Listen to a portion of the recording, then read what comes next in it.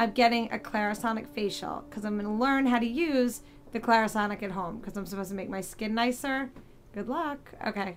So Good luck. so this is it. I'm closing my eyes. And what do I do? It just goes on my face? Just go on your face Uh-huh. very easily. Okay.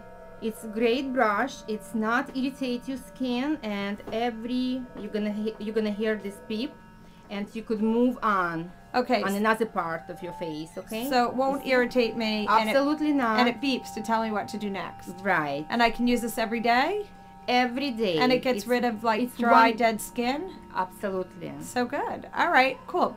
So this is the Clarisonic and this is the first time I'm trying it. Bye.